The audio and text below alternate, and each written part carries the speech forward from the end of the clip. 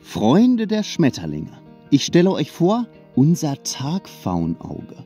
Es ist zwar relativ häufig, aber ich persönlich finde, dass es einer der schönsten Tagfalter ist, die wir bei uns haben. Schaut bei YouTube vorbei.